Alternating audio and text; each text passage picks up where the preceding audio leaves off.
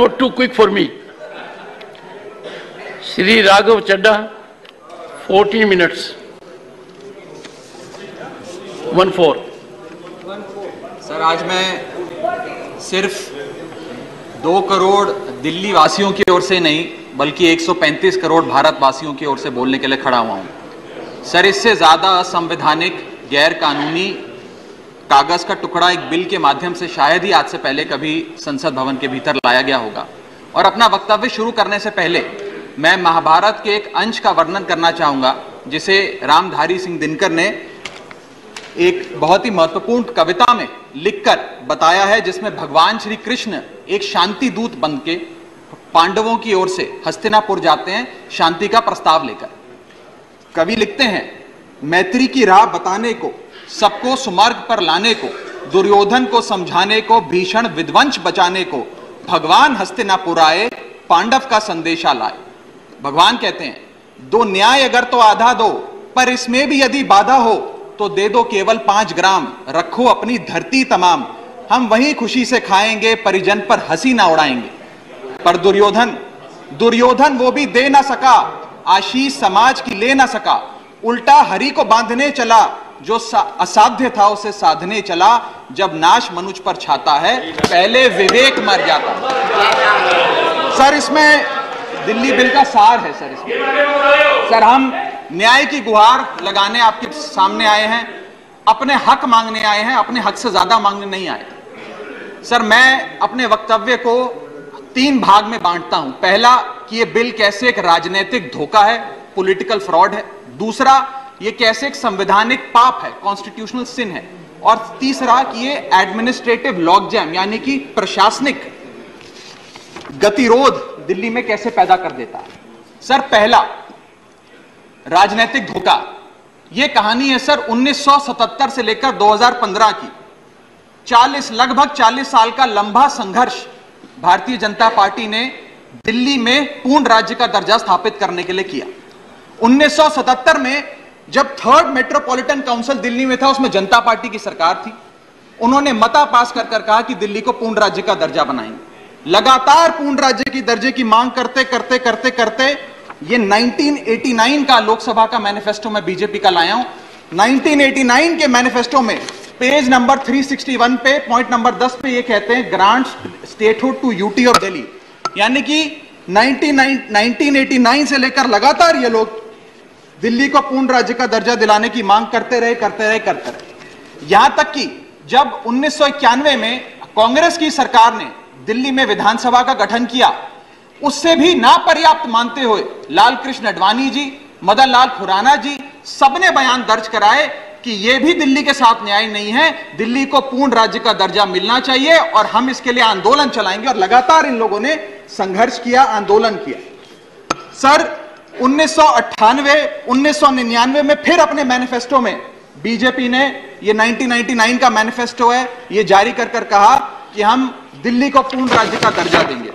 Page number 132 point number 31 we will give full statehood to Delhi sir, इन लोगों ने बड़ा आंदोलन चलाया, संघर्ष किया, सड़कों पे लाठियाँ खाई, न जाने क्या क्या किया दिल्ली को पूर्ण राज्य का दर्जा दिलाने के लिए, और अंततः वो दिन आया, जिस दिन वाजपेयी सरकार और वाजपेयी सरकार के उप प्रधानमंत्री आदरणीय लाल कृष्ण अडवाणी जी इस सदन के भीतर एक बिल लाए द कॉन्स्टिट्यूशनल अमेंडमेंट बिल 2003 जो दिल्ली को पूर्ण राज्य का दर्जा देता है। यह बिल अडवाणी जी इस सदन के भीतर लाए और कहा कि दिल्ली को अधिकार देने की ज़रूरत है, दिल्ली को पूर्ण राज्य का दर्जा भाजपा दिलाएगी। यहाँ भी बात खत्म नहीं होती, सर। इसके बाद 2013 के अपने मैनिफेस्टो में बीजेपी ने कहा हम पूर्ण राज्य का दर्जा देंगे। इनकी जून 2013 में नेशनल एग्जीक्यूटिव की मीटिंग हुई उसमें मता पास कर कर कहा हम दिल्ली को पूर्ण राज्य का दर्जा देंगे। यहाँ तक कि इनके सांसद इनके सांसद डॉक्टर हर्षवर्धन ने बयान दिया कि जब आदरणीय नरेंद्र मोदी जी देश के प्रधानमंत्री बनेंगे हम दिल्ली को पूर्ण राज्य का दर्जा देंगे। ये इन सबने सर लगातार बातें कही और दिल्ली को पूर्ण राज्य का दर्जा दिलाने की मांग लगातार भारतीय जनता पार्टी दिल्ली वालों के सामने रखती रही। सर, ये बिल सिर्फ़ संविधान का और लोकतंत्र का अपमान नहीं है। ये बिल लाल कृष्ण अडवाणी जी का, अटल बिहारी वाजपेयी जी का मदन लाल खुराना जी का, सुषमा स्वराज जी का, अरुण जेटली जी का सबका अपमान करने का और उनके 40 साल के संघर्ष को मिट्टी में मिलाने का काम करता है। सर, मैं मैं मैं माननीय गृह मंत्री जी का बयान लोकसभा में सुन रहा था। उन्होंने कहा कि नेहरू जी ने, पंडित नेहरू ने यह बात रखी थी कि दिल्ली को पूर्ण राज्य का दर्जा नहीं मिलना चाहिए। मैं माननीय गृह मंत्री जी से कहना चाहता हूँ, नेहरूवादी मत बनिए, अडवाणीवादी बनिए, वाजपेयीवादी बनिए और दिल्ली को पूर्ण राज्य का दर्जा देने का आज आपके पास ऐतिहासिक मौका है। दिल्ली को पूर्ण राज्य का दर्जा दीजिए। सर, इस बिल को लाने का असल कारण क्या है? यह बिल क्यों लाया गया है? पिछले 25 साल में दिल्ली में छह बार विधानसभा के चुनाव हुए। छह के छह चुनाव भारतीय जनता पार्टी बुरी तरीके से हारी। यहाँ तक कि 2015 और 20 में आज़ाद भारत के इतिहास की सबसे बड़े जनादेश की सरवार सरकार अरविंद केजरीवाल ने दिल्ली में बनाई। क्योंकि ये पिछले 25 साल चुनाव नहीं जीत पाए और अरविंद केजरीवाल और आम आदमी पार्टी के आने के बाद ये जानते हैं कि अगले 25 साल भी ये लोग चुनाव नहीं जीत पाएँगे तो सरकार को नष्ट करने का काम कर रहे हैं। ना रहेगी सरकार और ना रहेगा चुनावों का महत्व, ना रहेगी, ना रहेगा बाँस, ना बजेगी बांसुरी। लेकिन मैं आज इस मन से, भाजपा से अनुरोध करूँगा कि कम से कम लाल कृष्ण अडवाणी जी को न्याय दीजिए, कम से कम उनकी इच्छा पूरी करिए, दिल्ली को पूर्ण राज्य का दर्जा दीजिए। सर, मेरा दूसरा भाग कि कैसे यह बिल एक संवैधानिक पाप है। सर, पहली चीज़, ये abuse of ordinance making powers है आर्टिकल 123 जो संविधान का देता है। संविधान ये कहता है, और वाईवी चंद्रचूड़ साहब का A K Roy versus Union of India एक बड़ा महत्वपूर्ण लैंडमार्क जजमेंट है, जिसने कहा कि ऑर्डिनेंसेस सिर्फ़ आपातकालीन और विषम परिस्थितियों में लाए जाएँगे। ऐसी कौन सी आपातकालीन और विषम परिस्थितियाँ आ गई कि आपको सुप्रीम कोर्ट के फैसले को आठ दिन के भीतर बदलना पड़ गया? दूसरा दूसरा दूसरा, सर दूसरा, सर, देखिए, सर दूसरा सुप्रीम कोर्ट दूसरा यह सुप्रीम कोर्ट का अपमान है। सुप्रीम कोर्ट के फैसले को आठ दिन के भीतर पाँच जजों के, संवैधानिक पीठ के, सर्वसम्मति के फैसले को बदल के आज भारतीय जनता पार्टी ने एक मैसेज दिया है कि हम सुप्रीम कोर्ट को भी चैलेंज करते हैं। सुप्रीम कोर्ट के फैसले को भी नहीं मांगते आपको जो ऑर्डर जारी करना है करो। हम चंद दिनों के अंदर ऑर्डिनेंस लाकर उस फैसले को बदल देंगे। They have challenge the majesty of the honourable Supreme Court sir और मैं आपको ये कहना चाहता हूँ कि आजकल जो ऑर्डिनेंस लाने की, जो एक फेटिश इस सरकार ने देखी, चाहे वो लैंड एक्विजिशन बिल हो, चाहे वो फार्म बिल हो, चाहे ईडी के डायरेक्टर का एक्सटेंशन हो, जो ये सारी चीज़ें ऑर्डिनेंसेस के माध्यम से इन्होंने करी थी, इसका, इस बिल का हश्र भी वही होगा, जो सारे पुराने बिलों का हुआ था। सर थर्ड बिंदु, कि कैसे ये बिल संघीय ढांचे को एरोड करता है। हमारा भारत का संविधान और सुप्रीम कोर्ट का 2023 का 2018 का संवैधानिक पीठ का फैसला कहता है कि दिल्ली के पास एक यूनिक फेडरल आइडेंटिटी है यूनिक कॉन्स्टिट्यूशनल आइडेंटिटी है। और भारत का संविधान जो हमें संघीय ढांचा देता है, जो शक्तियाँ देता है, उन शक्तियों को एनक्रोच करने का काम यह सरकार करती है, हमसे अफसरशाही और तमाम शक्तियाँ छीन कर। मैं आपको सुप्रीम कोर्ट का वो एक वाक्य पढ़ के सुनाना चाहूँगा। The majority in the 2018 constitution जज bench held that while the NCT of Delhi could not be accorded with the status of a state, the concept of federalism is applicable to Delhi. हम पूर्ण राज्य नहीं है लेकिन फिर भी राज्य का दर्जा एक संघीय ढांचे के परिपेक्ष में दिल्ली को मिलता है। उसके बाद सर इन लोगों ने तो कमाल ही कर दिया। आज बिना संवैधानिक संशोधन लाए संविधान को बदल दिया मात्र एक एक्ट ऑफ़ पार्लियामेंट से जो आज तक शायद भारत के इतिहास में कभी नहीं हुआ। सर इसके बाद सर इसके बाद यह बिल पार्लियामेंट्री अंडरमाइन करता है प्रिंसिपल्स ऑफ़ कलेक्टिव रिस्पॉन्सिबिलिटी को। भारत का संविधान कहता है, सर, कि परमानेंट एग्जीक्यूटिव और पॉलिटिकल एग्जीक्यूटिव मिलके लेजिस्लेचर के प्रति जवाबदेही होंगे। ये प्रिंसिपल ऑफ़ कलेक्टिव रिस्पॉन्सिबिलिटी है। इसमें से परमानेंट एग्जीक्यूटिव यानी कि अफसरशाही को छीनकर, ये पूरी तरीके से कलेक्टिव रिस्पॉन्सिबिलिटी का प्रिंसिपल जिसपे सरकारें चलती हैं देश में, उसे ध्वस्त करता है। और आखिरी बिंदु, संवैधानिक अपराध का। ये ट्रिपल चेन ऑफ़ अथॉरिटी को तार तार करता है, sir. Triple chain of accountability ये होती है कि अफसरशाही की जवाबदेही मंत्री को, मंत्री की जवाबदेही लेजिस्लेचर को और लेजिस्लेचर की जवाबदेही जनता को। इसमें से अगर आप अफसरशाही हटा देते हो तो फिर जवाबदेही की जो ये ट्रिपल चेन ऑफ़ अकाउंटेबिलिटी है ध्वस्त हो जाती है। तो ये काम करके संवैधानिक अपराध एक प्रकार से सरकार ने किया सर, मेरा आखिरी भाग, ये कैसे एक एडमिनिस्ट्रेटिव हाराकिरी एक एडमिनिस्ट्रेटिव गतिरोध पैदा करता है। ये कहता है सिर्फ़ उपराज्यपाल ही ट्रांसफ़र पोस्टिंग करेंगे एक समिति के माध्यम से। यानी कि अफसर अब मुख्यमंत्री की नहीं सुनेगा मंत्रियों की नहीं सुनेगा। अगर अब दिल्ली में किसी के घर में बिजली नहीं आ रही पानी नहीं आ रहा किसी के बच्चे का स्कूल में दाखिला नहीं हो रहा तो वो उपराज्यपाल के पास जाएगा अपने मंत्री मुख्यमंत्री के पास नहीं जाएगा। क्या लोग जानते हैं उपराज्यपाल कहाँ रहता है? उपराज्यपाल कौन सी विधानसभा से चुनाव लड़ा? उपराज्यपाल ने कौन सा चुनाव जीता? लेकिन सारी शक्तियाँ एक चुनी हुई सरकार से निकालकर उपराज्यपाल को देता है। यह आगे कहता है सर ये, बिल कि हम एलजी को सोल डिस्क्रिप्शन देते हैं, स्वयं से, स्वयं के विवेक से फैसले लेने की तमाम शक्तियाँ।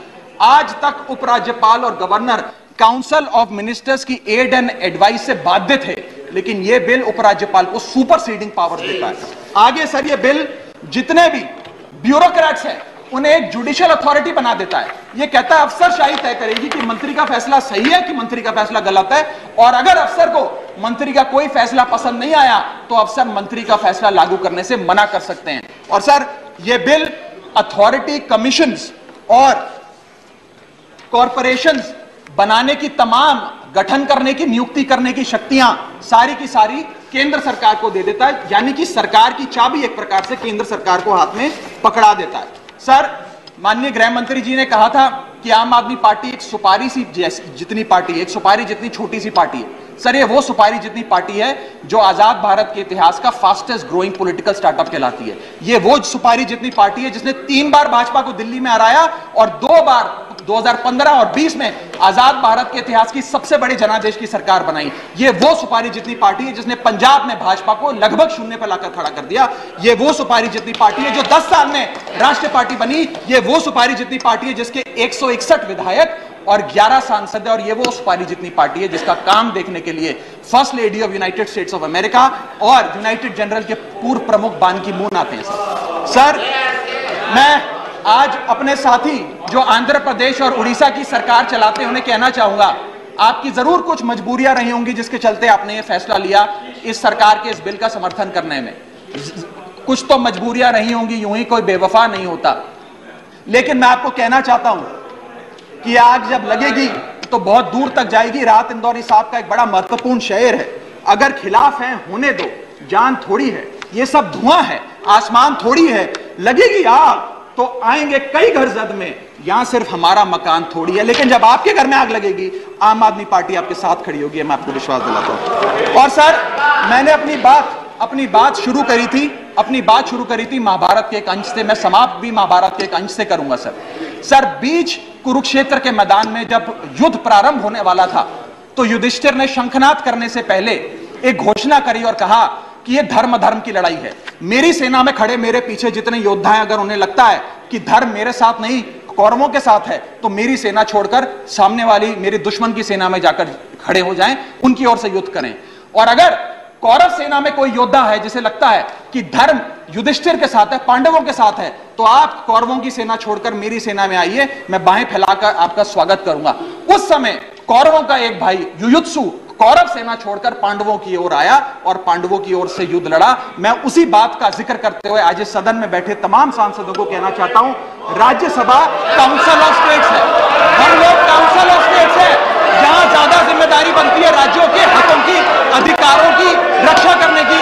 मैं मांग करता हूँ, आज आप लोग पार्टी लाइन से ऊपर उठकर, विचारधारा से ऊपर उठकर संविधान को बचाने के लिए, लोकतंत्र को बचाने के लिए इस बिल को हराइए। आज ये इतना असंवैधानिक और गैर कानूनी बिल अगर ये सफल हो गया तो हो सकता है आज के बाद, आने वाले समय में ये लोग देश में चुनाव ही ना कराए, चुनावी प्रक्रिया को खत्म करने से बहुत बहुत शुक्रिया। Doctor Sir Smith Patra. Thank you. 12 minutes. Honorable Chairman, sir. Honorable Chairman, sir. I rise to speak on uh, behalf of the Biju Janata Dal. Sir, speaking on this bill in the Lok Sabha,